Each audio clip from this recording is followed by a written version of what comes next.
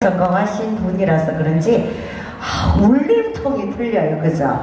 요즘 국악을 성공하신 가수분들이 TV, 트로트 경연전에 참 많이 나오십니다. 특히 뭐 대표적인 분 아시죠? 성가희 씨라고 예, 우리 낙동강 예술단의 남자 성가인입니다. 1인 2역.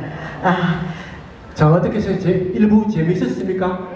아 아까 저희들이 우리 지금 약속했죠 그죠? 안경 선물로 드린다고 그런데 이 안경을 소개하면은 끼자마자 사람 마음까지 다 보여버려요 어머 세상에나. 그래서 이거 이 안경 아니 나는 사람 마음보다 코로나 시대에 그 상대방 계좌가 보였으면 좋겠어 비밀번호 그리고 이 안경은 혼자 사는 사람인데 좋아야 하는데 아까는 부부끼리 끼면 사이 안 좋아지잖아 맞죠?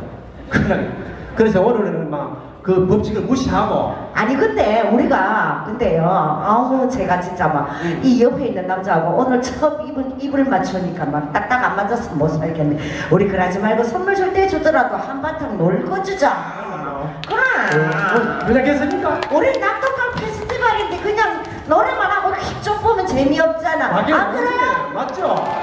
자 그러면은 우리 그거 좀 낙- 남겨놓고. 낙동강을 대표하는 자 박수